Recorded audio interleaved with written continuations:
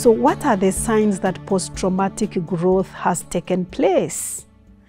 Uh, so, we said post traumatic growth, you come over on the other side more beautiful and a changed person. But how do you tell that this person is changed? You will find that this person has had a shift in their thinking. They were thinking a certain way, but now they're thinking very differently. Like the way the Bible records that Joseph told his brothers, What you intended for evil, God turned it for the good. So, this, the person was changed. They were looking at life very differently. Then there is a way in which they appreciate life. Somebody appreciates life so much, like the way you can have maybe um, somebody has experienced a bereavement or a loss, they have lost a close family member, and every single day, because of what they go through, they appreciate the life that they have. I have recently been thinking of my own experience just on that point of appreciating life, my own experiences having gone through loss, bereavement. I lost my father as a toddler, then I lost my sister when I was in high school. One of the denominators of these loss, losses is that I never buried these people. They died in my absence. My father, by virtue of the fact that I was a baby, so I don't remember, or maybe I was even taken away the way people do hide children. My sister, I went to school, I came back, she had passed away and she had been buried. So that made me appreciate life in another, in a different way, that every time my children go to bed, I give them a hug and I tell them I love you. Every time I take my children to boarding school, those who are in boarding school, I drop them. The last thing I say, I love you. You know why? Because I don't know whether this is going to be the last time. I, I, mean, I know it's a difficult thing to think about, but then I don't know. This may just be the last time that I'm going to see them. So I always remember to say, I love you. And sometimes when I tell people, they may think, oh, I'm being extra, as they call it, I'm being dramatic. I'm not. It's because I appreciate life in a way that, you know, I never probably appreciated before. Another sign that uh, post traumatic growth has taken place is somebody has an appreciation of their strength emotional, physical, spiritual strength. There's some strength that was probably latent, you know, lying there dormant. You go through post traumatic growth and you realize, oh, I can actually do this. I can actually do this. This can actually happen. Think of like even the people you see as simple as people who spend grueling hours in the gym and they chip at their flab and everything. Then when the body comes out and the body is so well sculpted and they realize that I actually had all this. It's not like another body has come on them. They actually had this body. They just needed to do something so that it can it can emerge, it can come out. And then another sign that post-traumatic growth has taken place is that somebody discovers new possibilities. Possibilities that they never thought existed. And now here I will just say, uh, talk about the people who get fired. There are people who get fired from their place of employment, they lose their job. They never knew they can do certain things. We have people who have started doing things like even cake baking.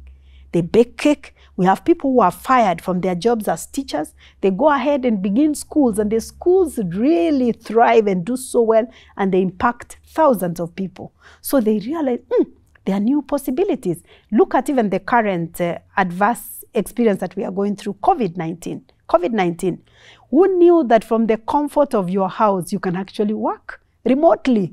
We are now impacting uh, millions across the world simply because of this opportunity for us to use our home space because of COVID. So we are discovering possibilities that we never knew existed. And then another sign that post traumatic growth has taken place is somebody experiences a new spiritual, philosophical change in the way they look at life they now look at life so differently. Somebody told me one time that um, having uh, grown up in Kenya, you know, in Kenya we have the tribe thing, the way somebody looks at um, you and they're asking, What tribe are you? What tribe are you? And there are stereotypes that we go by. So this person grew up in Kenya having this stereotype. One time they traveled abroad. And in this city that they were in, most of the people were not black, most of the people were white. And they were yearning, they were yearning to see a black body, okay, somebody who looks like them at least. So one time he's walking on the street, and then he looks at a distance, he sees somebody with a skin like his. He ran and hugged this person. He didn't know the person. He, and it's a man. Yeah, it's a man. And you know, coming from a patriarchal society where men are meant to be macho, they're meant to be strong, he ran and hugged this person. They embraced and they talked. And he discovered he was from East Africa, this other man was from West Africa. And they became brothers and they talked. And up to today, he said they are very close because now his perspective changed. And when he came back to Kenya, he no longer looks at people as the tribes and communities or ethnic people groups that he used to look at them as. So when somebody has gone through post-traumatic growth, they are no longer the same person that they were. You will find they can no longer relate. That's why when people have gone through a bereavement and they have survived it, they have survived it, you discover the things they used to enjoy, they no longer enjoy. The places they used to go to, they no longer go. The people they used to hang, hang out with, they no longer hang out with them because their philosophy of life has completely changed. Some people even become very, very, very close with their spiritual being.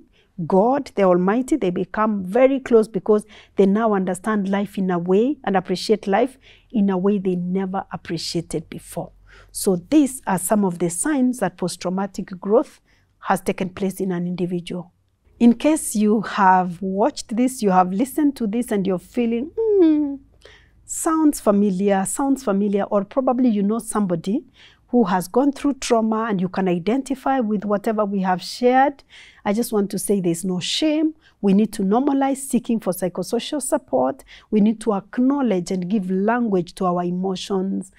Leave a comment below. Reach out. Share this with somebody because we all need to heal. There is no health without mental health.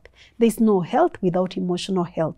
What happened to you is not your fault, but what you do with it is your responsibility. Let me repeat that.